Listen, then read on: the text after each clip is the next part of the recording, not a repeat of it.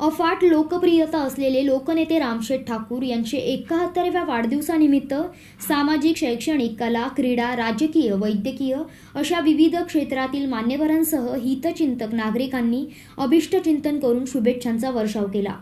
सर्वसामान्यांचा आधारवड असलेले लोकनेते रामशेठ ठाकूर यांनी नेहमीच समाजातील प्रत्येक घटकासाठी मदतीचा ओघ दिला आहे. महापूर असो वा कोरोना वैश्विक महामारी किंवा कुठलीही आपत्ती लोकांवर आलेले संकट आपले आहे असे मानून लोकनेते रामशेठ ठाकूर यांनी सतत मदत कार्य केलं आहे. वाढदिवसाचे निमित्त असले तरी वर्षभर विविध समाज उपयोगी उपक्रम राबविणारे महाराष्ट्रातील उत्तुंग व्यक्तिमत्व म्हणून सुपरिचित आहे.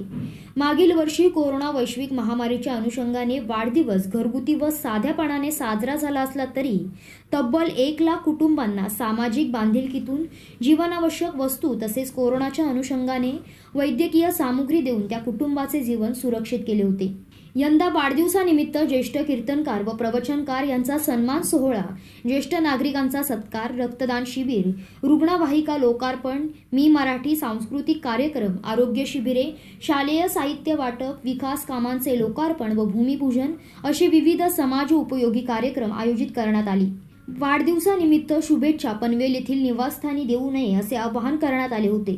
मात्र सकाळपासूनच विविध क्षेत्रातील मान्यवरांसह पदाधिकारी कार्यकर्ते व नागरिकांनी अभिष्टचिंतन करण्यासाठी गर्दी केली होती. त्यामुळे लोकनेते रामशेठ ठाकूर यांनी त्या सर्वांचा मान ठेवत शुभेच्छांचा स्वीकार केला. तत्पूर्वी लोकनेते रामशेठ ठाकूर यांच्या सुविज्ञ पत्नी शकुंतला ठाकूर वर्षा प्रशांत ठाकूर अर्चना परेश ठाकूर यांच्यासह कुटुंबातील महिलांनी लोकनेते रामशेठ ठाकूर यांचे औक्षण केले.